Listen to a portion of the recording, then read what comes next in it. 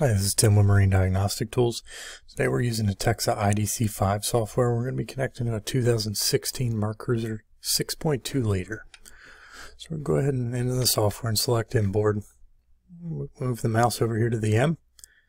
We'll come down here to MerCruiser. We'll go over to the 6. And we'll come down here to the model we're connected to, that MPI DTS MCM. So I included a picture to see where we're actually connecting to that AM44 onto that terminator. If you come here to the film strip, you'll see there's two different cables you can use, the AM44 which we're using, or you can use the AM01 CAN plus the AM25. Those are the older cables, but they work the same way. So we'll go ahead and connect here. We'll make sure the ignition is turned on and we'll do the little system scan.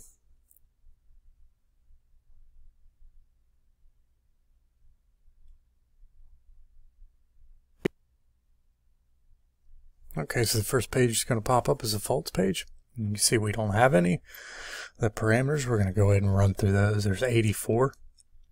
Now, if you didn't want to see all 84, you can go to that little hourglass icon in the bottom left-hand corner and you can select which parameters you want to see. Um, we'll go ahead and graph a couple of these injector pulses out. Okay, you'll see those. Uh, you can also use that uh, piece of paper with the star on the bottom left, that's going to be your favorites parameters. So you can have your favorites listed in there, and those can be changed at any time.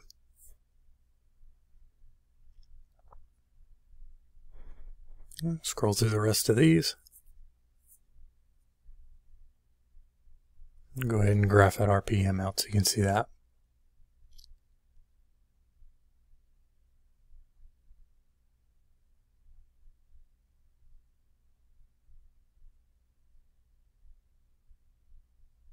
Okay, so your status page, you're going to have the gear position, your catalyst monitoring, a couple switches in there, other things like that, um, misfires.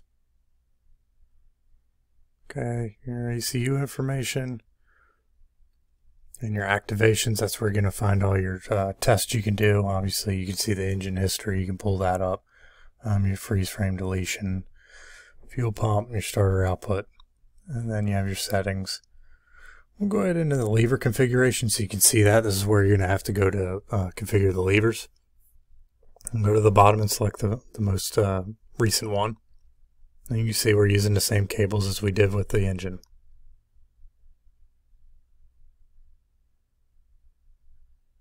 Okay, so we'll make sure the ignition's on again. And there you'll see our parameters. We only have three, it's not a whole lot of information, but it's it's there. Your status, we'll see the switches and starboard engine start, stop, emergency cord pulled, things like that. In your settings, that's where you're going to find that lever configurations. If you wanted to see a little bit more information, just click on that question mark. It's going to give you some information on that lever configuration. And then as you go through the software, I'll walk you through how to do that. You got a little paper there that's going to give you the information on that lever configuration your DTS system description, your vessel integration panel, things like that.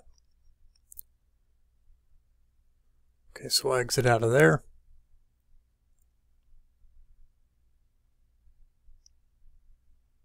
Minimize that. And you can see we have the lever and helm control module. It's not a whole lot of information there. What I want to show you is the wiring diagrams. If you select the wiring diagrams, go to gas injection.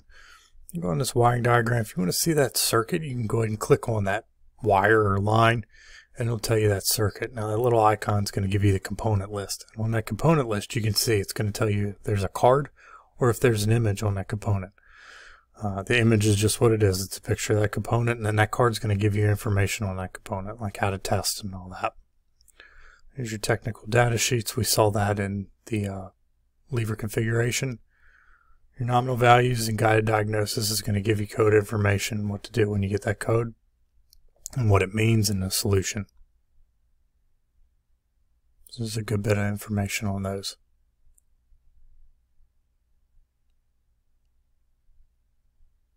Okay, then we'll click on the da technical data and maintenance. This is a new feature Texa added with the 15 uh, version 15. So you see we have the time and chain and the information on that. Here's your technical specifications.